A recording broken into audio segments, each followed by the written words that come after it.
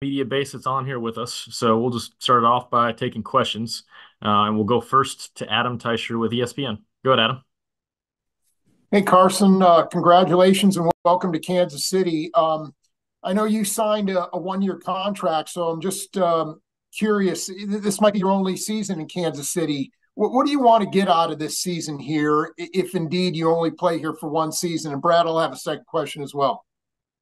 Yeah, great question. Um, lots of unknowns about the future. You know, it's it's all take it one day at a time first and foremost. But um, you know, big intrigue to, to wanting to come here, and um, you know why I'm here today is just the winning culture and um, seeing it from afar, um, seeing it around the league um, for the last couple years, and just the culture that Coach Reid has kind of set, and you, you see it and have admired it for years, um, and so. Uh, that was a big piece of the puzzle uh, for me and, and, the desire to be here on, on, a winning team in a good culture in a good community with a good fan base um, just seemed like a good fit. Yeah okay and uh, just curious whether you talked to nick foles about what it's like to play for andy and for um, matt nagy and what he told you about that? Yeah i actually never did in this process but i mean when i played with nick uh, i remember all the good things he had to say um, about his time here. He absolutely loved it. He loved working with those guys, and um, those those things he said to me back then um, definitely still rang true in my head. Um, kind of as I was kind of making this decision, so to speak. So uh, I just remember all the positive things he said about the organization, coaches, uh, those names you just mentioned. So um, yeah, those things were were definitely a factor and kind of gave me a little more peace and comfort um, in knowing what I was getting into, type of thing. Let's go next to Nate Taylor with the Athletic. Go ahead, Nate.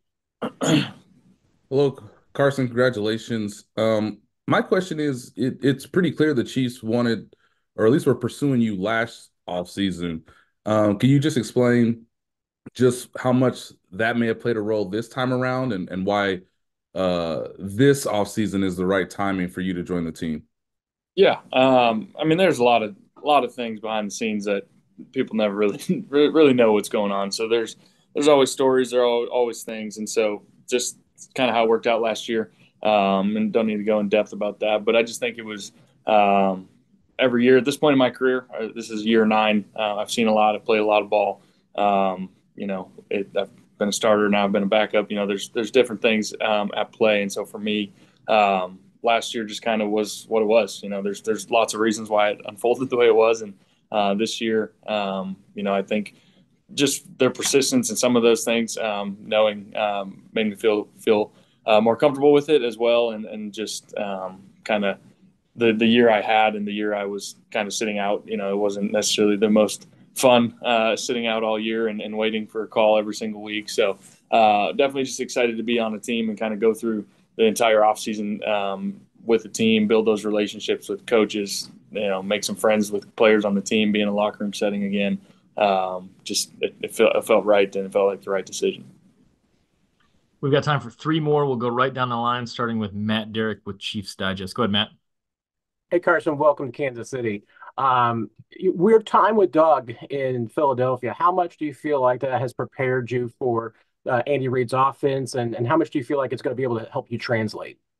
Yeah, I mean, I don't know the X's and O's yet. Um, I see them – from afar watching film or watching games. You know, whenever I'd see the Chiefs on on film and those types of things. But I would imagine um, it'll kind of make sense to me pretty quick because of that. You know, being five years with Coach Pederson Um, and that offense is, you know, obviously there's always little intricacies and little differences, but I think a lot of it will make sense to me and kind of resonate with me pretty quickly. Um, and that part I'm looking forward to. You know, the last couple years, offenses have been very different um, that I've been in, and so I've got to see a lot, experience a lot, um, so I think this one will kind of hit home, uh, so to speak, and be the most familiar for me um, over the last couple years.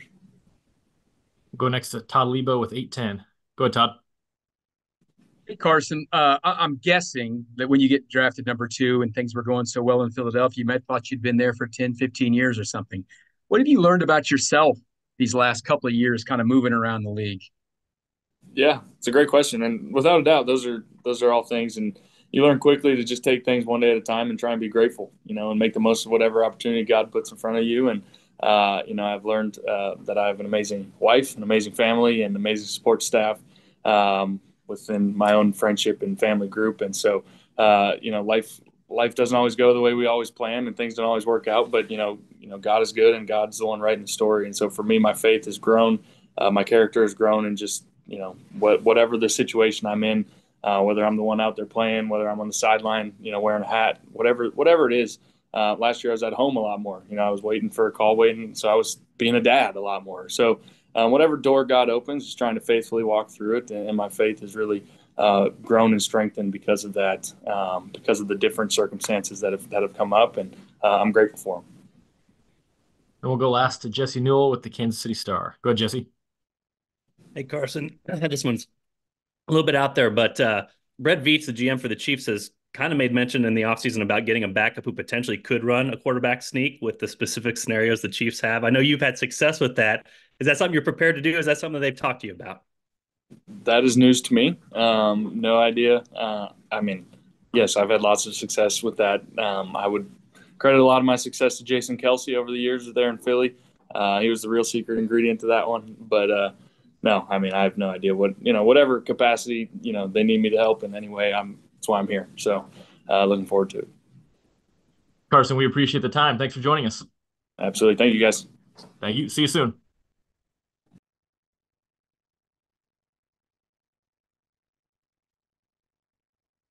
All right, guys. Uh, sorry, I know that kind of came together quick on us.